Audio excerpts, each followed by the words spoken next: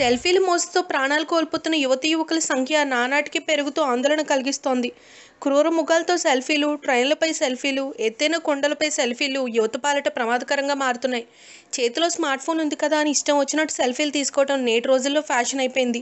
ఎంతో రిస్క్ ఉంటుందని తెలిసిన టీనేజ్ కుర్రాళ్ళు డేంజరస్ సిచ్యువేషన్స్లో సెల్ఫీల కోసం ప్రయత్నిస్తున్నారు. లేటెస్ట్గా సూళ్ళూరుపేటలో ఓ యువకుడు పాముతో సెల్ఫీ తీసుకునేందుకు ప్రయత్నించి ప్రాణాలు కోల్పోయాడు. షాకింగ్ న్యూస్ ఏంటంటే ఆ పాము కొద్ది రోజుల క్రితమే కూరలు పీకిన దాని కాటుక ఆ వ్యక్తి బలయ్యాడు.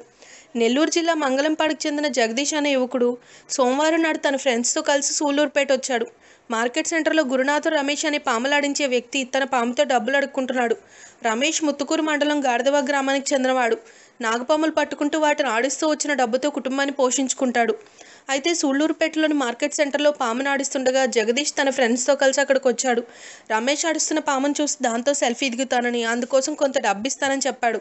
అయితే రమేష్ మొదట అంగీకరించలేదు కానీ జగదీష్ ఒత్తిడి చేయడంతో బుట్టలోంచి నాగపామును తీసి జగదీష్ మెడలో వేశాడు.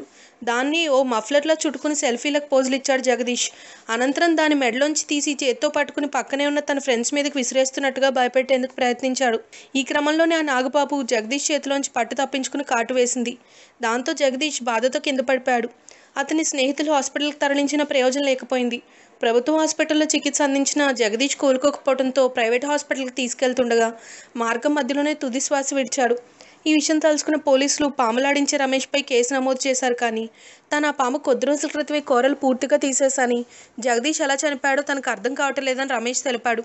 దాంతో ఇప్పుడు ఆ యువకుడి మరణం మిస్టరీగా మారింది. అయితే ఈ పాము కాటుకు గురైన జగదీష్ భయంతోనే మరణించుంటాడని స్థానికులు అభిప్రాయపడుతున్నారు. అది నాగపాము కావడంతో ఖచ్చితంగా విషం ఉంటుందని భావించి భయంతో అతని గుండె ఆగిపోయి ఉంటుందని అందుకే చనిపోయి ఉంటాడని వాదన విలింపిస్తున్నాయి మరోవైపు స్నేక్ సొసైటీ సభ్యులు మరో రకం వాదన తెరపైకి తెచ్చారు. ఒక్కోసారి పాము కూరలు తీసేసిన నోట్లో ఉంటే విషగ్రంథుల కారణంగా మనిషి ప్రాణాలు పోతాయని తెలిపారు. కూరలు పూర్తిగా తీసేసినా కూడా కొన్ని సందర్భాల్లో పాము వాటిని మళ్ళీ డెవలప్ చేసుకునే అవకాశాలు ఉన్నాయంటున్నారు. If you like the video please like us and subscribe Tollywood Nagar.